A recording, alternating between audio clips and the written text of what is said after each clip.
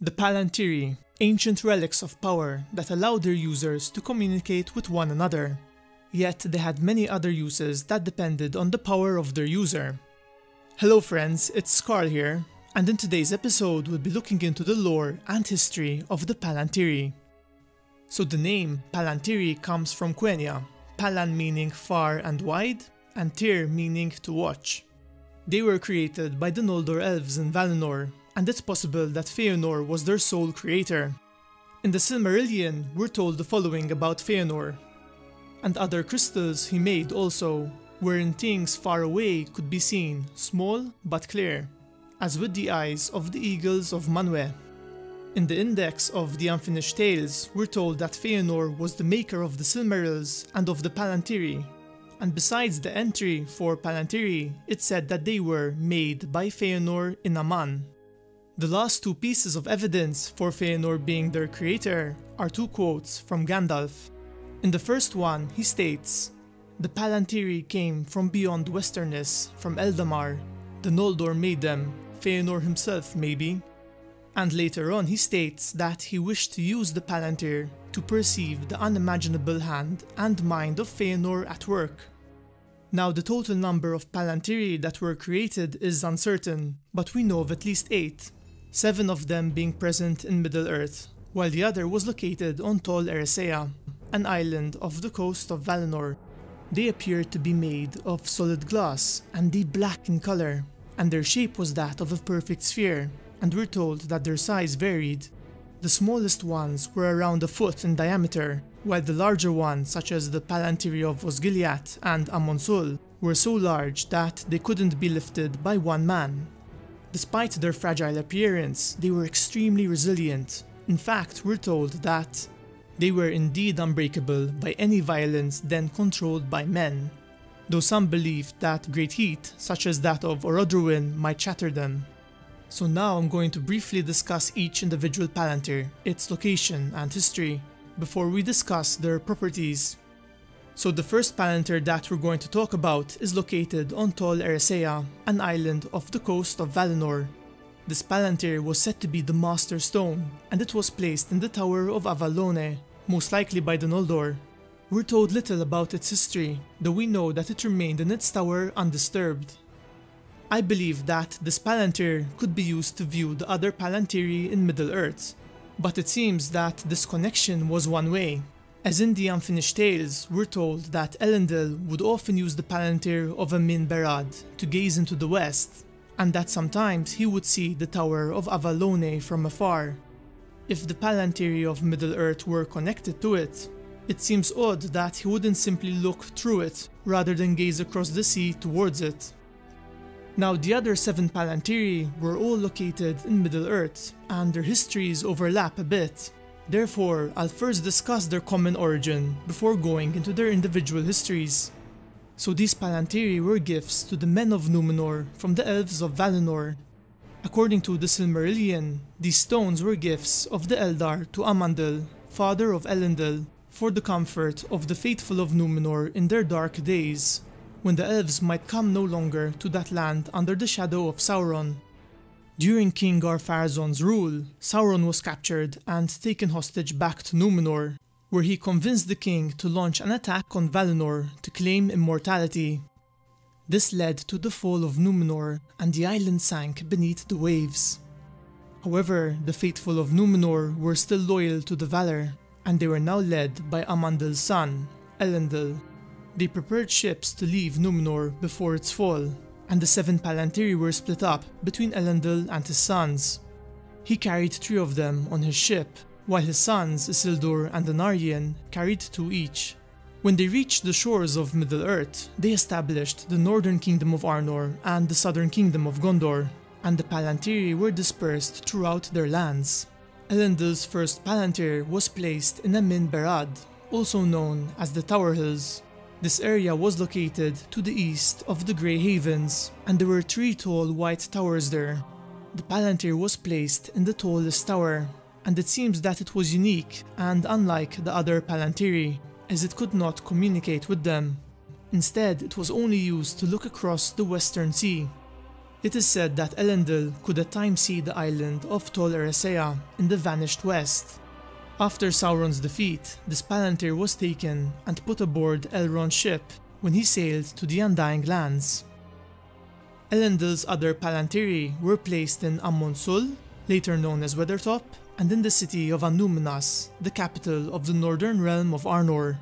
The Palantir of Amon Sul was said to be the largest and most powerful of the three Palantiri of the Northern Kingdom, and it was used to communicate with the Southern Kingdom of Gondor. When the Witch King attacked the realm of Arnor, he laid waste to Amon Sul, though its Palantir was saved. In the year 1974 of the Third Age, the city of Fornost fell to the Witch King, and Arnor's king, King Arvedui, fled north, carrying heirlooms of the Northern Kingdom, including the Palantiri of Amon Sul and Annúminas. He reached the icy wasteland of Forochel, and a ship was sent to find him and pick him up. Though Arvedui was advised to delay his travels till summer, when the sea was safer, he chose to ignore this, and a great wind came from the north and broke his ship against the ice. This resulted in the death of King Arvedui, and the two Palantiri were lost in the dark icy waters of the Bay of Forochel. Now Isildur's two Palantiri were located at Minas Ithil and Osgiliath.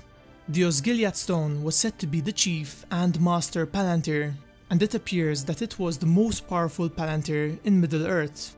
It was kept in the Dome of Stars, and it seems that it had the unique property to eavesdrop on conversations between the other Palantiri of Gondor, which is most likely why it was considered to be the Master Stone.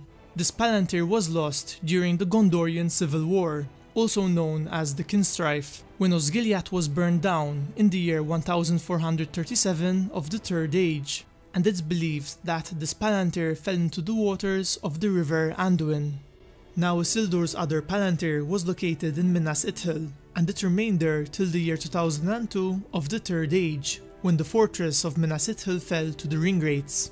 This Palantir was found and given to Sauron, who then used it throughout the War of the Ring to communicate with Saruman and to break Denethor's spirit.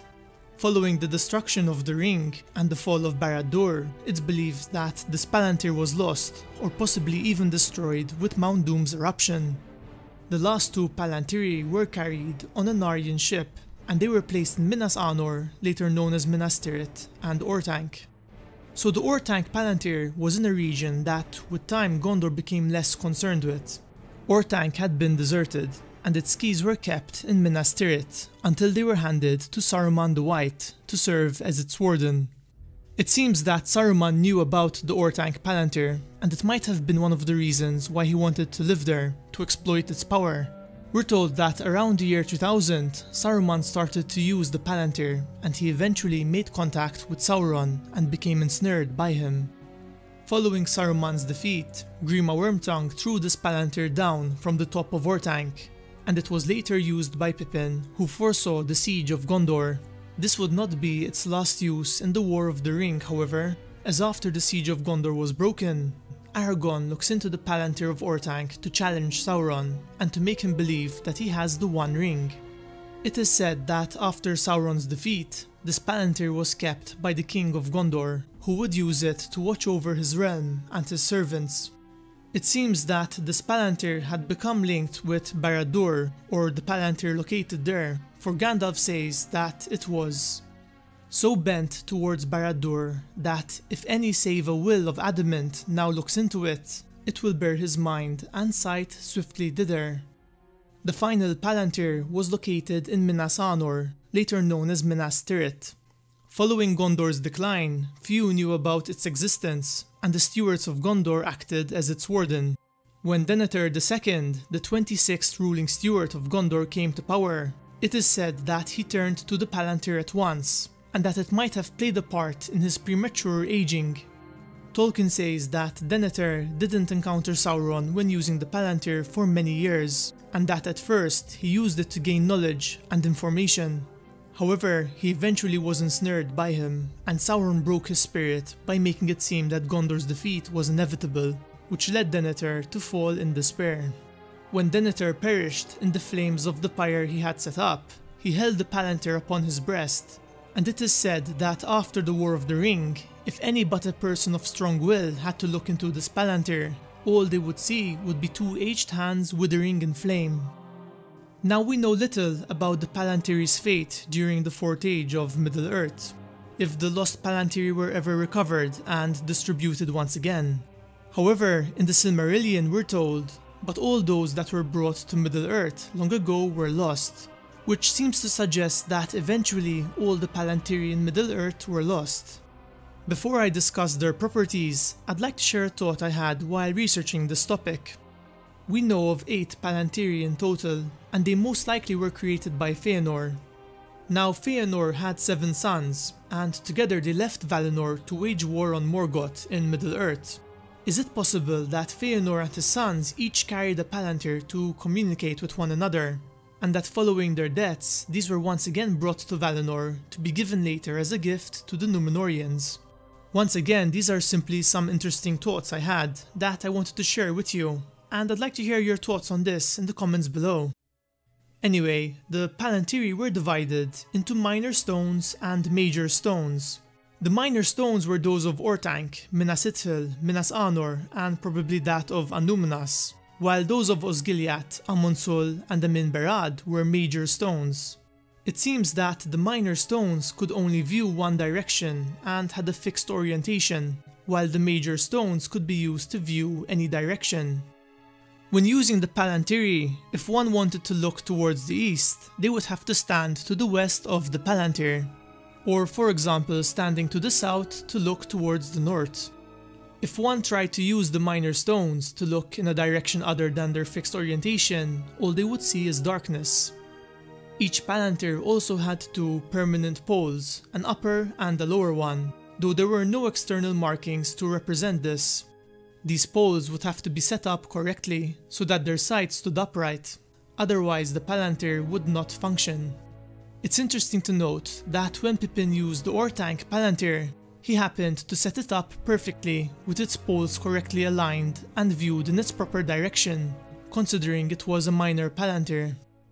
During the peak of Gondor's power, each Palantir had a warden who had three duties.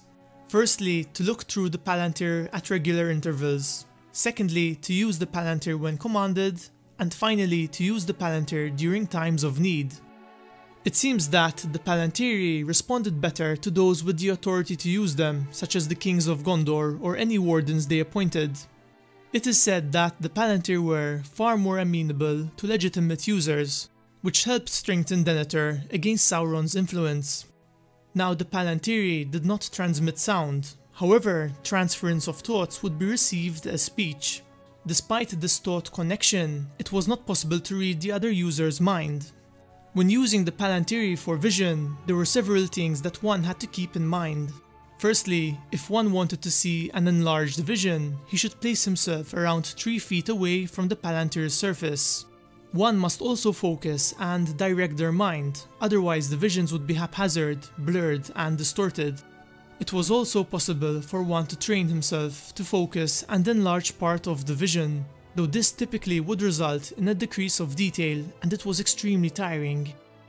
The thing I find most fascinating when it comes to the Palantiri is that it was possible to see visions and scenes from the past.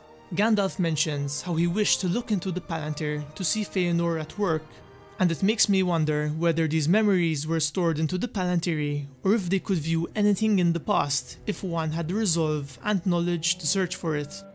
When the Palantiri were used to peer into the distance, their sight could look past physical barriers. For example, if one wanted to look at something behind a mountain, it was possible to do so.